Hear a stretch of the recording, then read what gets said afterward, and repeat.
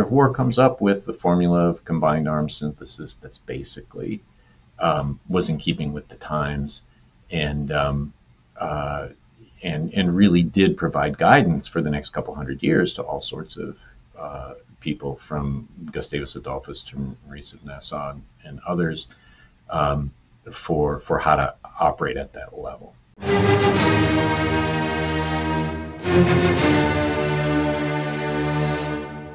Welcome to Shield of the Republic, a podcast sponsored by the Bulwark and the Miller Center of Public Affairs, and dedicated to the proposition articulated by Walter Lippmann during World War II that a strong and balanced foreign policy is the necessary shield of our democratic republic. I'm Eric Edelman, counselor at the Center for Strategic and Budgetary Assessments, a non resident fellow at the Miller Center, and a Bulwark contributor. My normal partner in all things strategery, uh, Eliot Cohen, uh, the uh, Robert E. Osgood, uh, professor of strategy at Johns Hopkins School of Advanced International Studies and the Arleigh Burke Chair of Strategy at the Center for Strategic and International Studies, is on a well deserved vacation. But I'm joined today uh, by our special guest, uh, Professor Christopher Lynch, who is the chair of the Political Science Department at Missouri State University, uh, also the translator and editor of the most recent edition of Machiavelli's The Art of War and the author of a recent book, Machiavelli on War, published by Cornell University Press. Welcome, Chris. Thanks. Thanks for having me. Thrilled to be here. So, um, this is uh, not our normal fare on Shield of the Republic. We, we don't normally devote ourselves to, uh, you know, the, the classics, although we probably should. And uh, I'm thrilled to be able to have this conversation with you, Chris, because the book is really terrific. I, I, hadn't read a book on Machiavelli, I think, since Harry Harvey Mansfield's uh, Machiavelli's Virtue, uh, which I probably read about 20 years ago. So this was a wonderful opportunity to uh, dig back into a thinker who I always find uh, it fun to tangle with.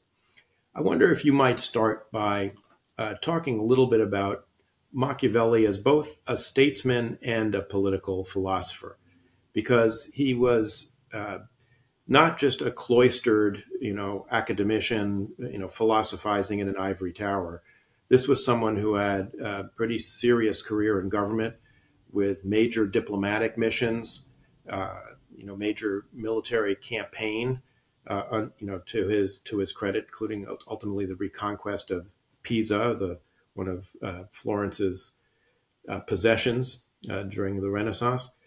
Um, but then he goes off and, and writes some of the most penetrating and important uh, uh, works of political philosophy uh, that you know essentially s- set the stage for the arrival of modernity, as it were.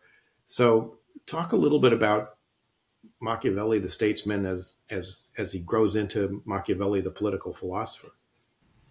Sure. Um, yeah, it's uh, it's it's so important to see those two sides, and he himself, in his two comprehensive works, the Prince, that you know most listeners would be familiar with, and, and the Discourses on Livy, his book on republics, um, he makes very clear that those two sources of knowledge, on the one hand, um, his own experience with modern things um, which you know means him living in the modern world in general, but specifically his experience in government, combined with his reading of ancient things.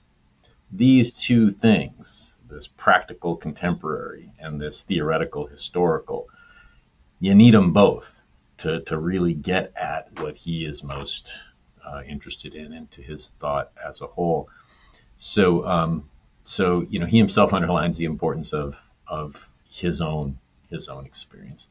Um, much of the you know scholarship about Machiavelli up until about 15 years ago, 20 years ago, really uh, made a not accurate case um, of him as sort of an at best armchair general, as someone who sat back, didn't have any real involvement in political military affairs, and was also enamored of the ancient Romans and his love for them blinded him to the realities of his day. There's all sorts of stuff that it, I I thought was probably accurate when I started studying Machiavelli decades ago. I was just interested in him for his political philosophy and took for granted what these uh, military historians were saying.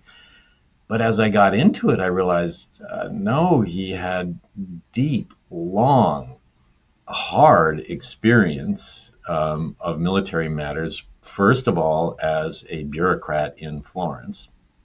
But then, as time went on, uh, as you alluded to, you know, he found himself first negotiating with with Florence's mercenary captains and allies and, and others. But then, as time went on, he recognized and finally persuaded the Florentine authorities we need our own fighting force. And so he did what he could to develop that, passing the law to make it happen, doing the recruitment.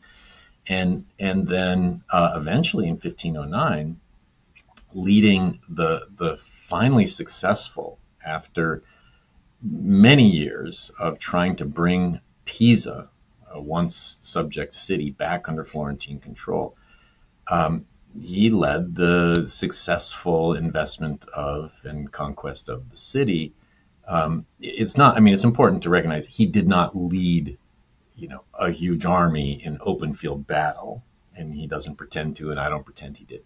But he, you know, he led thousands of troops in um, in a complex, long, uh, months long uh, investment of of a city and preparing to siege the city when it collapsed, and engaged in all the negotiations with the with the you know people within Pisa.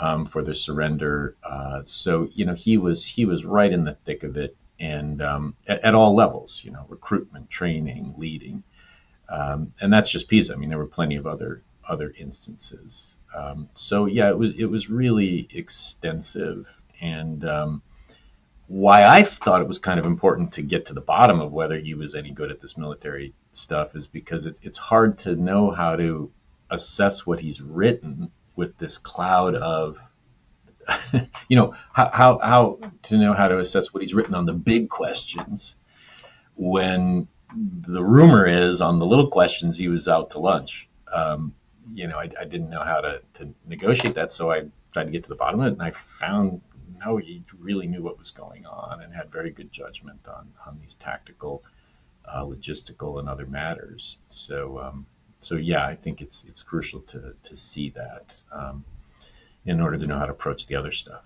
He also had some serious uh, uh, diplomatic experience. I mean, he sent on missions to the court of the French king, who is a major player in the uh, external intervention in, in Italian politics during the early modern era, and uh, to the papacy, which of course was a huge, uh, not just spiritual power uh, against which Machiavelli has a lot of gripes, but also um, was a temporal power uh, as well in, in Italian politics. So he was not without diplomatic experience either. So both the political and military uh, that he brought together in his career. Absolutely. I mean, it, it it's really important to see that um, because he, he has sort of the military details and the political context within which they're going on through his experience and through his study. I mean, I start start the book uh, with a chapter that um, you know sort of recounts the a, a chronicle that he wrote, um, you know, long couple long poems, um, where he lays out the the sort of mili- uh, political context of the military stuff that he was so engaged in, and he knew it both from study of of you know the writings of the day, but as you suggest, through direct experience with the big actors inside and outside of Italy. Long experience. I mean, he was at the court of France for six months, um, with Cesare Borgia for four months, with the Pope for over a month, and um, you know, and talking to these folks. You know, he was talking one to one with Cesare Borgia. He was, um, you know, met with the French king, and you know, did most of his dealings with the with uh, one of his right hand men, but but sometimes with the king himself.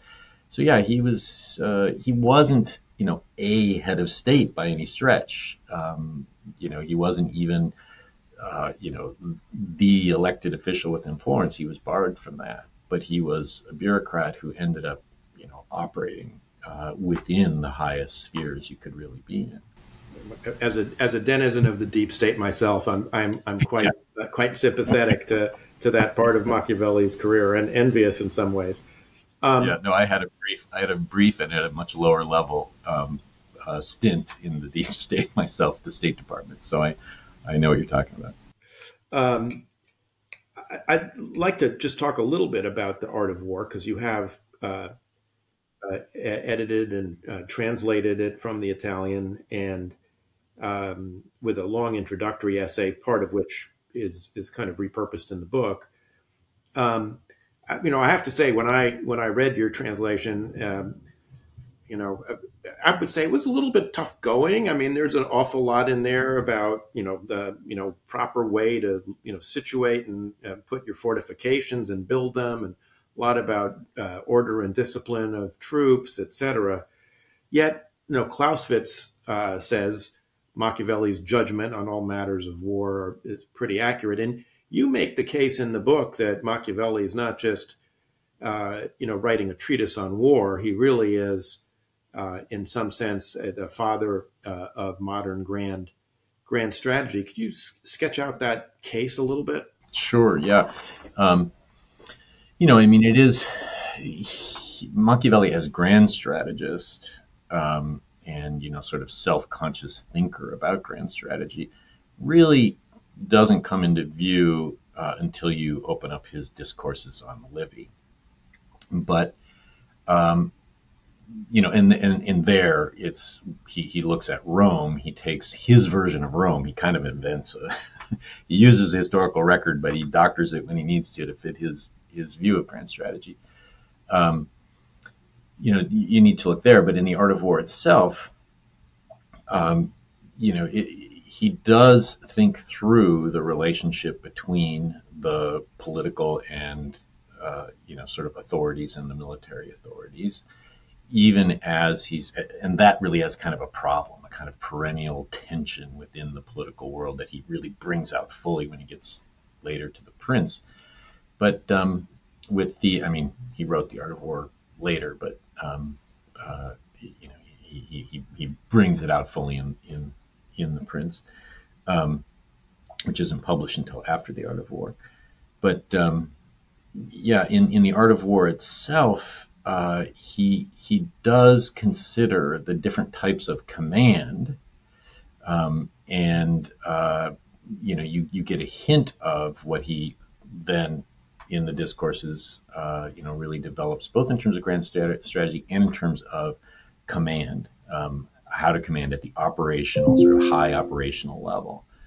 You get that view in the art of war, but you do spend most of the time trying to figure out how to combine the different arms within the military at the time in a way that is going to be most effective. All of all of Europe at that time was kind of groping towards trying to figure out, you know, how do we put together the artillery that has shown itself to be very effective when it comes to sieges, but not so effective when it comes to battlefield war. How do you put that together with cavalry, which has been the dominant force for the last hundred years under mercenary captains who used used the cavalry as their main arm, with infantry, which had been shown to be very effective in the Swiss pikemen um, how do you put these all together? Everyone was groping for how to do it. The Art of War comes up with the formula of combined arms synthesis that's basically um, was in keeping with the times, and um, uh, and and really did provide guidance for the next couple hundred years to all sorts of uh, people, from Gustavus Adolphus to Maurice of Nassau and, others, um, for for how to operate at that level. You know the um, point you made earlier, I think, is worth uh, spending some time on, which is uh, you make the point that to get at Machiavelli as grand strategist, you really have to look not just at the art of war, but at the full corpus of his writings. And uh, that's a very big theme of, of your book, which is you've got to look at all of this. But, but moreover, that um, warfare, uh, both initiating it, ending it, um, waging it, um, is a you know major leitmotif through all the works. you know both the Art of War, which was published in his lifetime, and then the posthumously published works, the discourses on Livy, the the Prince, uh, etc. Um, so, talk a little bit about how all of this manifests itself through the entire corpus of his writings, and and is there anything to the fact that the major writings were published after his death? Is there something that you know we should understand about that to, as a key to this as well? Yeah, sure. Um, maybe I'll, I'll, start with that last point first um, to just get our bearings among his different works. Um, yeah, he his his works that he uh, you know in which he wrote, as he himself says, everything he knows. His comprehensive works are the very short Prince, which puts forward what you know everything he knows, but you know uh, from the perspective of and under the literary conceit of a job application to a prince.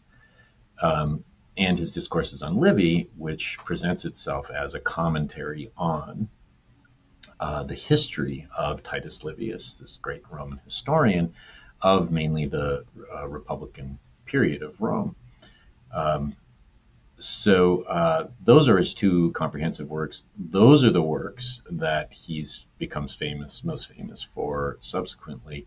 They're the ones that he arranges to have circulated during his lifetime, but not published, in part because they are so um, incendiary, morally speaking. Um, and uh, uh, he really does in them, for people who are alert to this, uh, attack the papacy, not just the papacy, Christianity itself, uh, not just Christianity itself, but the entire Western tradition, and you know, sort of sets himself up as this as, as someone who really wants to set you know the Western world and maybe humanity as such on a new path. It's very big, ambitious, um, and dangerous stuff, and uh, he knew that to, to publish this in his lifetime would be a problem. So uh, the more staid Art of War, where he doesn't let the lid off of all this stuff, he publishes during his lifetime. One of the, the chronicles I mentioned, he published during his lifetime. Um, so, uh, so that's a big difference among these works. But once you do get to the to the comprehensive works, and especially the discourses when it comes to grand strategy, um, he does, as I mentioned, take take the Roman Republic as his ostensible model. Um, it's because he takes it as his ostensible model. Many historians have mistaken, like I suggested earlier, a sort of him for having a slavish adherence to whatever Rome did. But if you pay attention, he messes with the history when it doesn't suit his overall um, his thoughts about about strategy and command um, which makes you realize eh, he's he's got his own vision and he's using Livy and he's using Rome as really a conduit for conveying his overall strategic thought. Now, he doesn't have a, a, a prescription for what what the grand strategy that everyone must have, you know, is. And anyone who who's thought much about politics realizes there can't be a, a general prescription. It depends. Um, depends on your circumstances. It depends. Are you a republic? Are you a principality? Are you big? Are you small? Um, uh, you know, all, all sorts of things. Uh, so he takes um, a couple different uh, scenarios and takes expansion. He takes Roman expansionism as the thing that Rome was compelled to do, and which you, if you're a republic, ought to recognize you need to do, because if you don't do it first, someone's going to do it to you. So expand, take over, structure yourself so, such that you're able to do that. The core of that is having a large, powerful military, which is going to allow you to uh, win in open field battles. Best case, be able to, to, to win against any other uh, going competitor in open field battles so that you can prevail in any war, allowing you to have the kind of reputation that then allows you to get all sorts of capitulation from others near and far based on your reputation. Um, and then I won't get into details on this too much because it gets a little arcane, but um, developing a, a, system of colonies and alliances um, which enable you to continue your expansion. All that said, that's just one paradigm he puts forward. He's got another one of, well, there's some disadvantages to that. So you could have a league of smaller republics. And in that case, it's limited expansion.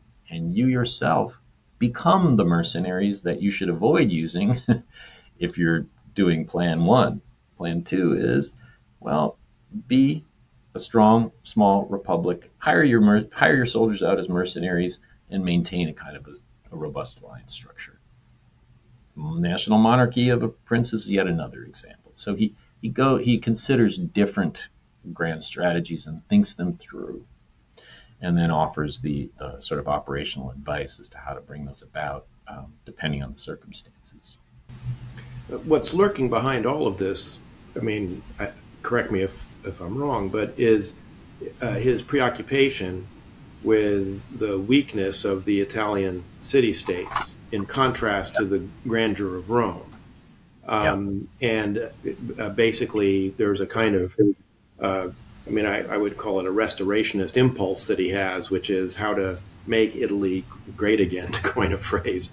Um, yes, um, and uh, uh, deal with the infirmities that the city states have vis a vis the great powers of the time the Holy Roman Empire to the north, the French, the Kingdom of France uh, to the northeast, and, and the papacy to the south, which is, I mean, his, um, uh, you know, uh, uh, animus towards the papacy is driven a lot by the fact that the papacy is in, frequently bringing in these other players in order to, to, to serve its own purposes temporally in Italy, but which is weakening Italy against other great powers. I mean, so that I mean that uh, seems to be a big driver of, of his of his thinking. Absolutely. I mean, that's it's it organizes certainly his presentation of his of his thought and I think much of the thought itself. I don't think he's sort of uh, you know, like traumatized or unable to think outside the the situation of Italy, but um, it definitely is the the situation he's dealing with, and it and it does help in in reading Machiavelli to just keep in mind what you sort of outlined, which is that there are three major outside powers right? France, Spain, and the Holy Roman Emperor. And there are five major inside powers uh, inside Italy, you know, sort of going around the clock Milan, Venice, Florence, the papacy, and uh, Naples, um, or the Kingdom of the Two Sicilies.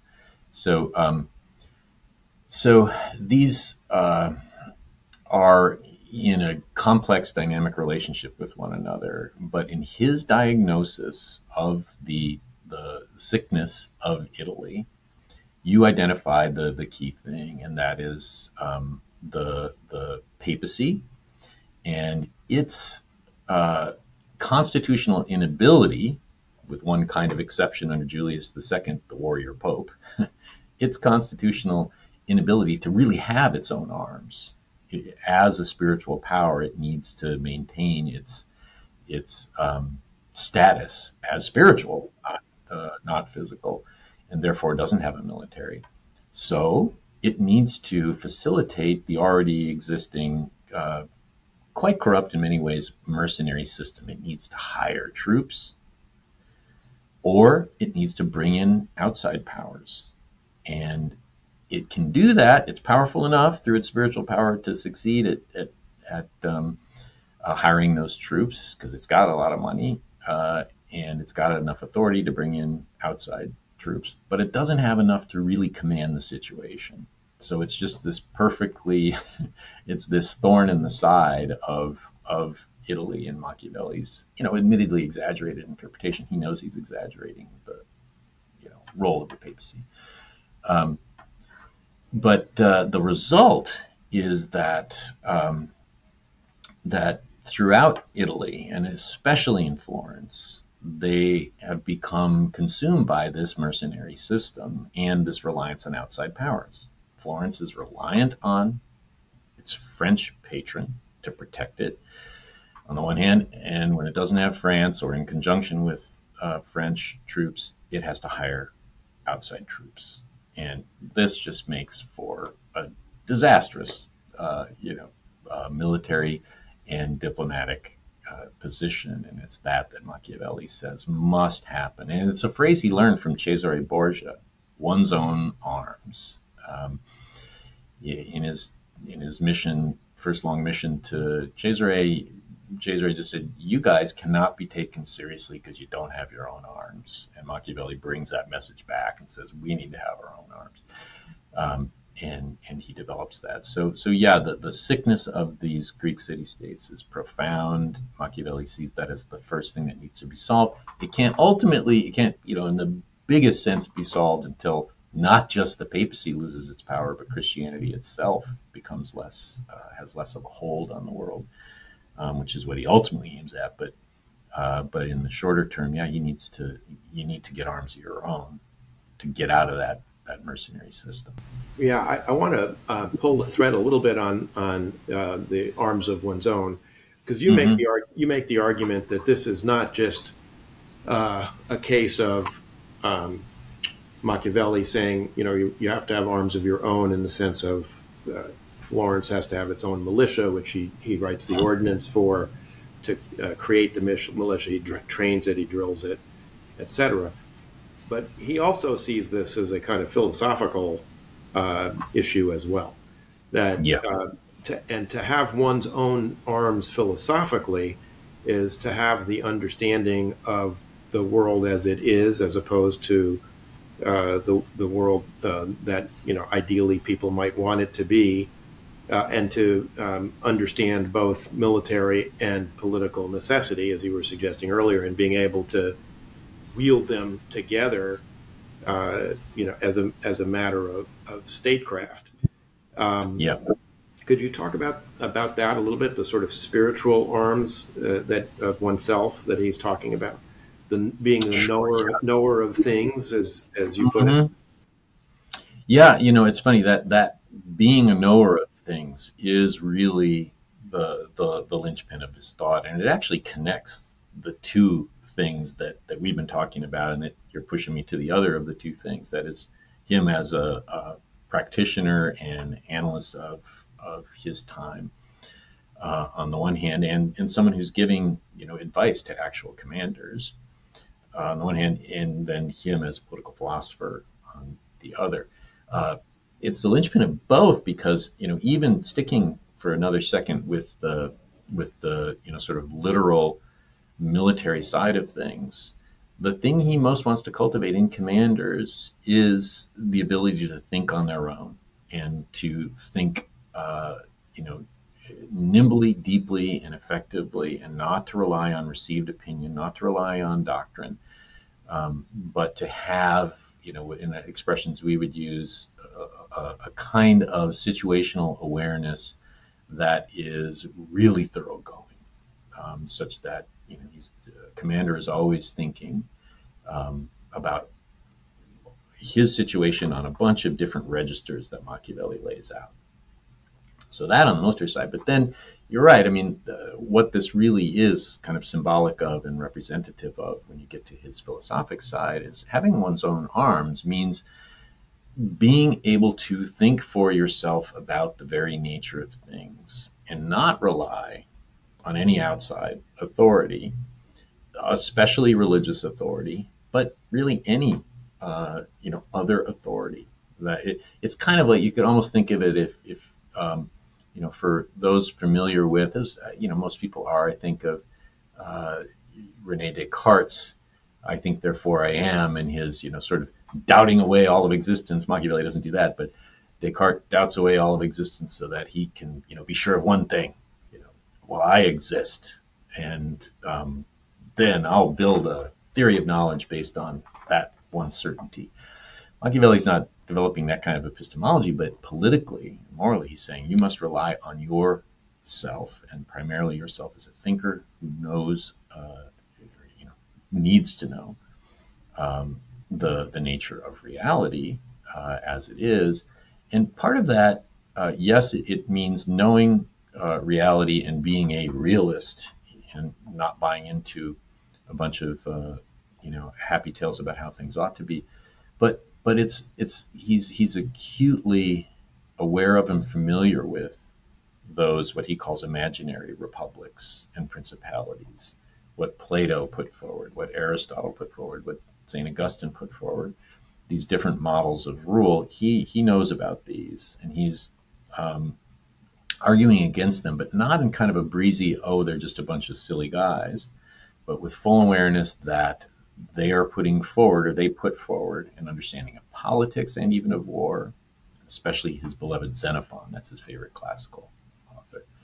Um, they put forward an understanding of, of politics and war um, that has great purchase that he sees the benefit of, but that aided and abetted and led to what, from Machiavelli's point of view, is this great disaster of Christianity really ruling the world and taking our eyes off the ball of um, life as it's really lived.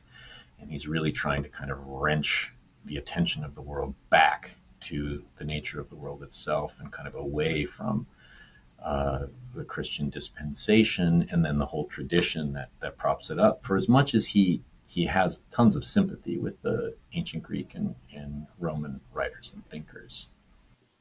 I mean, yes. I mean, it's a um, perhaps most powerfully argued case against the conventional wisdom. And I think, uh, you know, one can find, particularly in matters military and, and uh, diplomatic, um, which may be one reason why I find it uh, so attractive. I, I wonder, um, you know, I don't know if you've read it, but Matt Kroenig um, has an essay on Machiavelli in the new. Uh, yeah, I, I saw it. It looked really good to me. I didn't. I, I looked at it. I, I didn't even know there was a new edition of, of the New Makers of Modern Strategy. Yeah, and then I, I saw it. It looked really solid to me. Yeah, it's interesting though. I wonder if you'd comment on one element of that Matt uh, Matt, um, who had written himself on um, the um, contemporary great power competition between uh, uh, authoritarian and um, uh, and democratic regimes uh, sort of sees Machiavelli as a precursor in a sense, you know, uh, because uh, he lays a lot of emphasis, as as do you, on Machiavelli's writing in the discourses, which is you know his major work on republics as opposed to principalities, although Machiavelli refers to even the leaders of republics as as princes and, and leaders. So I wonder if you if you I mean is that too presentist a reading uh, of Machiavelli to see him as some, in some sense a precursor of the argument about uh, the strengths and weaknesses of democracies versus authoritarian regimes? Oh no, I think it's not at all too presentist. It's it's it's it's really an absolutely key uh, key distinction for him. The difference between a principality, which we would think of as an authoritarian regime, and his version, his best version of a principality is that it's very, it's very authoritarian, and its control of the military is absolutely essential to um, an ex- a successful, what we call authoritarian, he calls it uh, principality.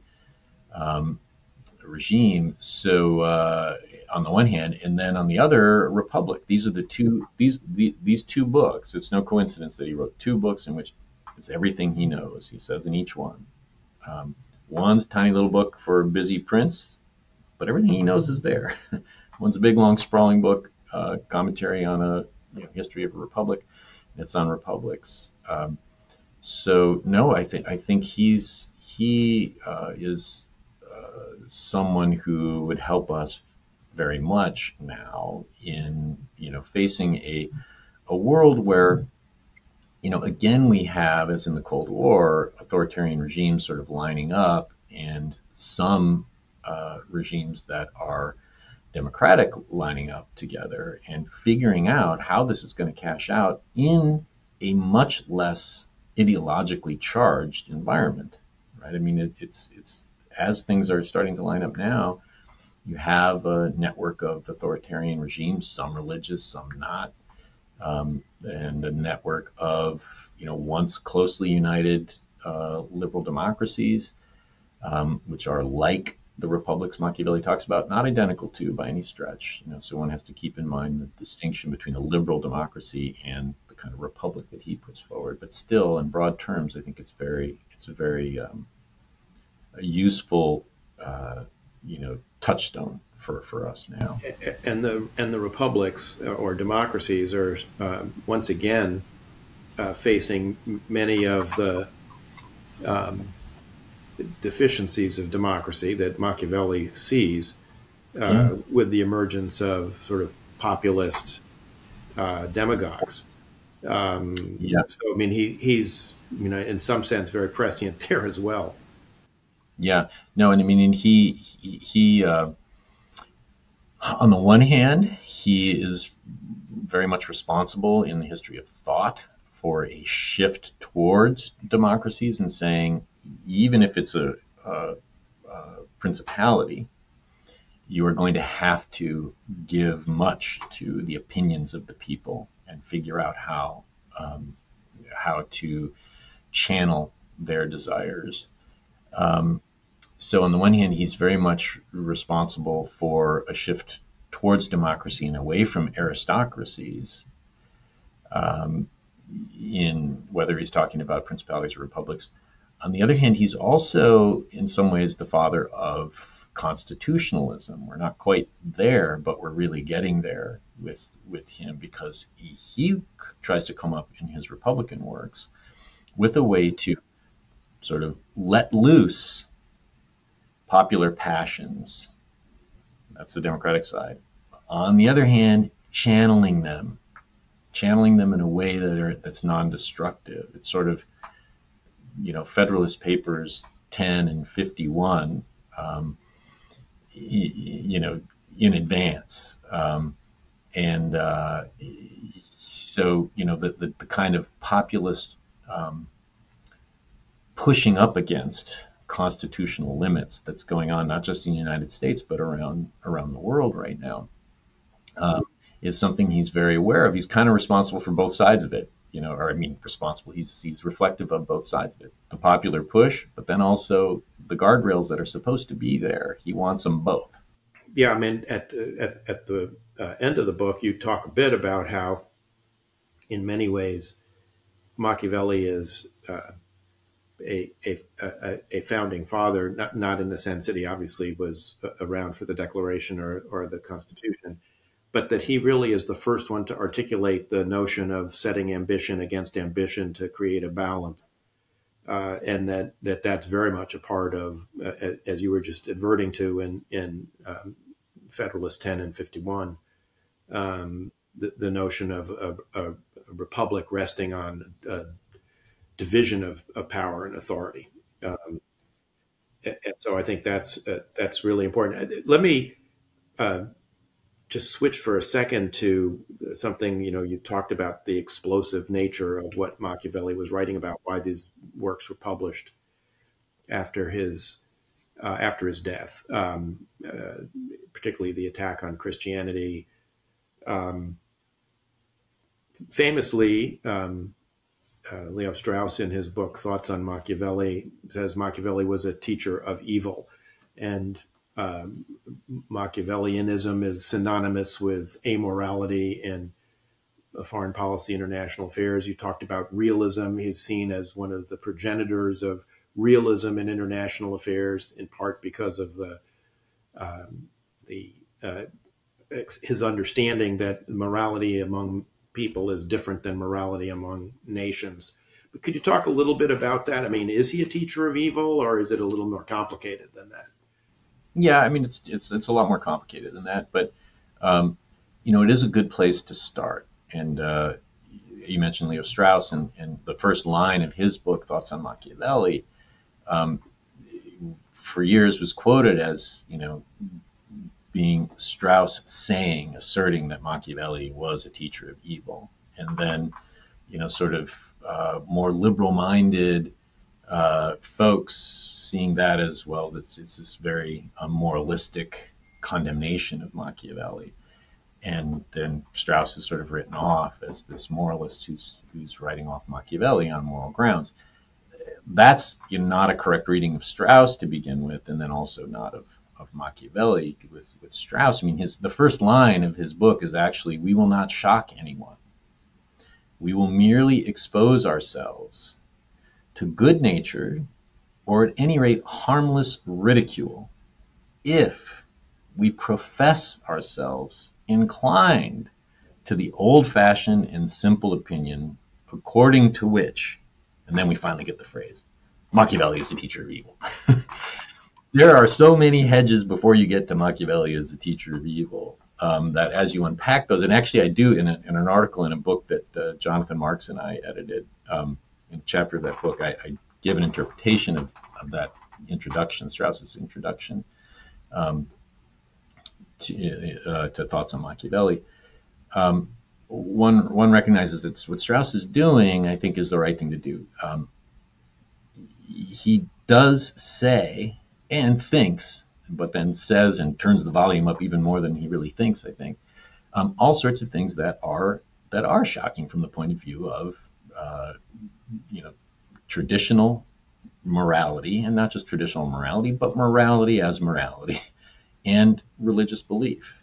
Um, you don't want to get too fancy too fast and saying, oh, well, really he's animated by, you know, wanting to get a job or he's animated by, um, you know, some realist doctrine that he has in his head. And, um, and uh, or he has a republicanism that he's advocating and these bad moral things are really just in service to that. I mean, you got to just sort of follow your initial reactions, just kind of simple reactions. Yeah, you, when he talks about, you know, not caring about the death of your own parents as much as you, you know, care about getting their money when they die, um, you know, uh, killing people, uh, you know, without a moment's reflection in order to gain power for yourself. He says and advocates all sorts of really um, shocking things. He implies that God is, all but says God is a tyrant if God were to exist as the Bible portrays him. Shocking things. These are shocking. If if we weren't already so taken by Machiavelli's the immoralism and then the subsequent toleration that he sort of initiated, we would be shocked. Um, so, you know, he says things that are very much at odds with with morality and religion, and he does that with an eye to to you know bringing them down and really bringing about a world very much like the one we live in, which is one where you can talk openly about and live your life in accordance with putting number one first. Um, and uh, uh, he wanted that n- not necessarily because and not, I think, because he was evil and was in favor of evil. He wanted a world in which uh, a more reasonable life is possible in general for most people, but then also a world in which reason itself um, really can rule and reasoners at the highest level, um, with himself as the as the highest level. Um, philosophers can can do what they do um, at at the height and um, justify it in a different way from how it was justified in the past. The life of a thinker can be justified as, hey, if you really understand the nature of the world, you can succeed. So pursue that. But I think also, I mean, tell me if you disagree, but what Machiavelli implies in a lot of this is that that at the level of statecraft, when you're talking about relations among nations, and particularly in war, that what appears to be moral at some level can have you know very damaging consequences and what appears to be immoral can actually potentially have very positive consequences. So just as an example a modern example uh, one i can imagine having read the prince multiple times and having him you know, reading Machiavelli talking about various actors' cruelty being an incredible virtue because it helped them end a war.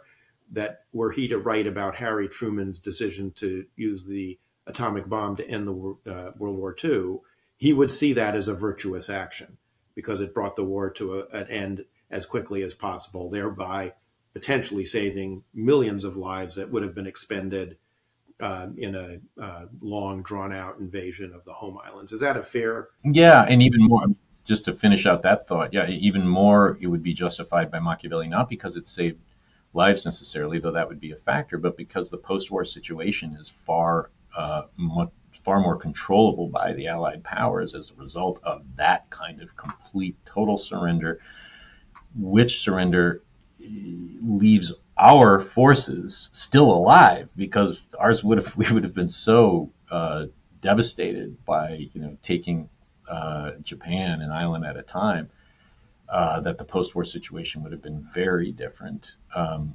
so so yeah, he would he would not hesitate uh, at advocating that. You know, now I don't I don't think. Uh, um, other ancient thinkers would hesitate either. I don't think Xenophon would hesitate. I don't think Plato would hesitate or Aristotle. Um, Augustine, Aquinas, yes, I think they would have. They'd need to. Just war theory um, makes very hard to justify incinerating women and children in their bed, um, uh, even if you know you're at total war. So, so yeah, he does. But I'd also say, um, Eric, that that that's clearest in the relationship between countries, as you're saying, but it's just as present within. And, and he's willing to, um, something we talked a little bit about before we started, he's willing to, to think through the immorality required in war and reason it back into the domestic sphere.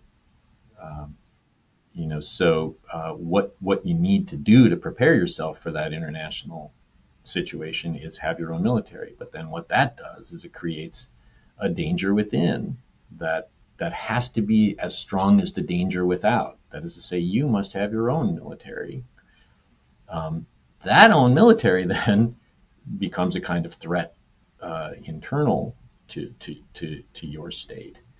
And um, he does not have any expectations of and doesn't presume upon the moral sensibilities of military leaders um, or citizenries uh, any more than he presumes upon moral action of state leaders against one another. Um, instead, he tries in a Republican context to set up a system of checks and balances where you have former military leaders kind of watching the current military leaders, knowing that those current military leaders are ambitious and their ambitious ambitions, if let go unchecked, is going to lead you to a situation where the military authorities are going to take over the political. And these, you know, watchful former commanders and maybe future commanders, it's not like Machiavelli's trying to cultivate. This, this is another actually big misunderstanding, little sidebar here of Machiavelli. Um, there was the military stuff, but there's also this idea that he is uh, very much in favor of, of cultivating a republicanism that requires leaders and citizenry to be selflessly dedicated to the common good. It's just not accurate. Um, instead, he sets up a system wherein you have a bunch of self interested, once and future military commanders being a check on the current and ambitious military commanders.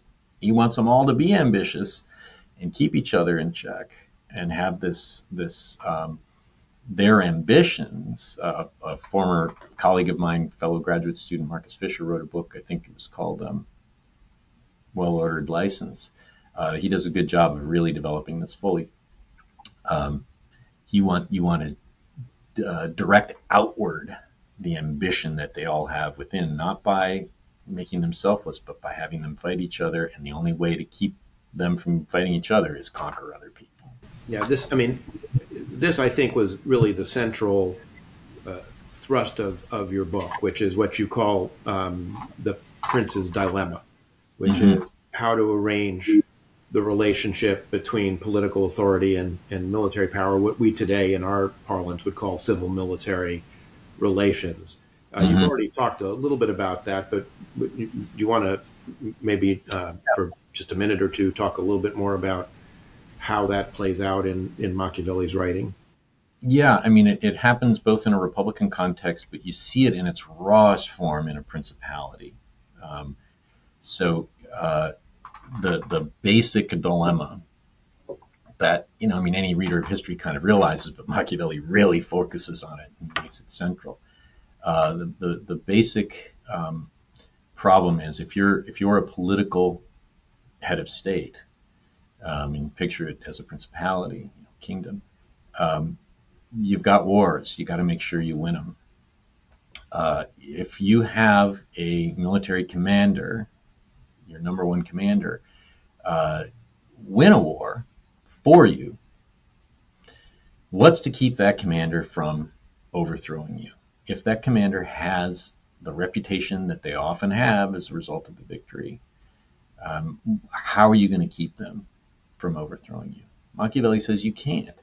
Um, if that commander is sufficiently ambitious, commander is going to turn on you and take over. Therefore, the only answer in a principality is don't let that situation arise.